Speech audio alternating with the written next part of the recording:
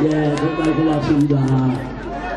아, 오늘 여러분 한 20년 젊어지셨죠? 30년 젊어지셨죠? 어, 저는 오늘 태어났습니다. 아, 정말 우리가 이렇게 흥겹게 만나서 이 보는 밤에 노래 한 곡씩 하면서 서로 이렇게 호흡을 맞춰본다는 게 우리 국민의 뜻이 아니겠습니까? 어, 즐거우세요? 저기 저 중간중간에 다 이렇게 저 우리나라의 명주 탁주하고 떡하고 얼갈이하고 닭 튀긴 거 돼지고기 다 마련했는데 한 잔씩 드셨어요? 한 잔씩 드셨어요? 뭐 그러면 우리 이걸로 참 만족하지는 않지만 서로의 정을 나눴습니다.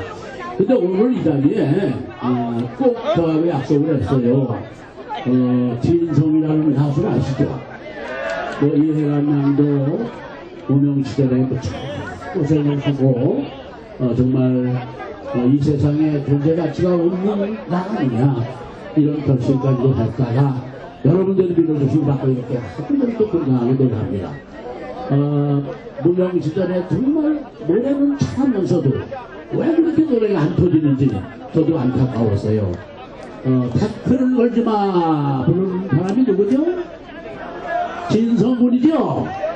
아, 오늘 지방고인에 있어서 못 왔어요. 저 번호 치고 난리 났어요.